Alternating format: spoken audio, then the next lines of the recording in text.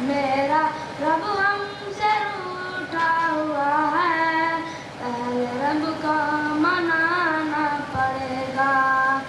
छोड़ करके हमें सारे घर का दिल सजदे में जाना पड़ेगा। छोड़ करके हमें सारे घर का दिल सजदे में जाना पड़ेगा। वक्त के बाद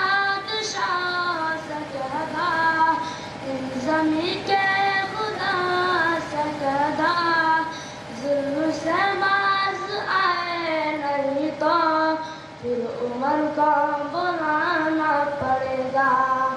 फिर उमर का बुलाना पड़ेगा। जुल्म से बाज आए नहीं तो फिर उमर का बुलाना पड़ेगा।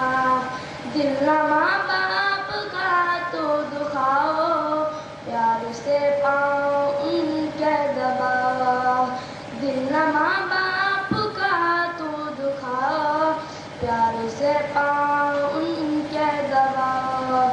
और न फिर बाद में दोस्तों। तुमको आँसू बहाना पड़ेगा। अस्सलाम वालेकुम रहमतुल्लाह